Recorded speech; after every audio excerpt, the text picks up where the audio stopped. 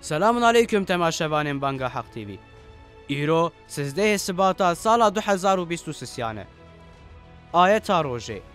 Dereceyên her kesî li gorî emelên wan in.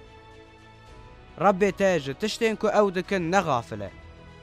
Hedîsa rojê, Rojên herî bi qedr û qîmet ên li ba xwe de deh rojên ewil ên meha Zîlhîcceyê ne.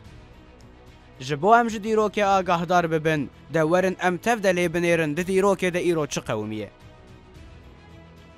Hezar û du sed û pêncî û heşt Hûlagû Bexdayê îşxal kir.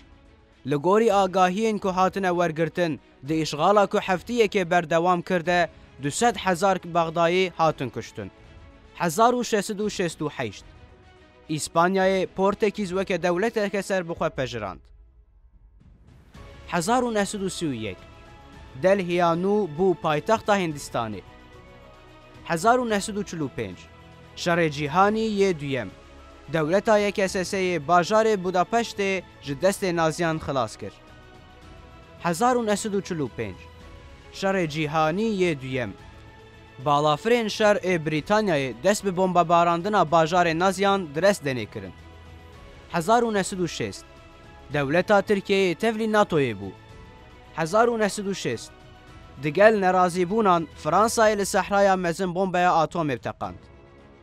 Hezar û neh sed û heftê û yek Şerê Viyetnamê. Hêzên Vîetnama Başûr ên bi piştgiriya Amerîkayê Laos zemt kirin.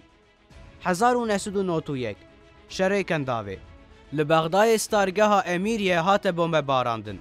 Di encamê de bêtirî çar sed mirovên sivîl ên di hundir de mirin. Du hezar û yek Li El Salvadorê erdhejeke bi meznahiya şeş û şeşan a li gorî pîvana Rîhter qewimî. Di encamê de bêtirî çar sed kesî jiyana xwe ji dest da.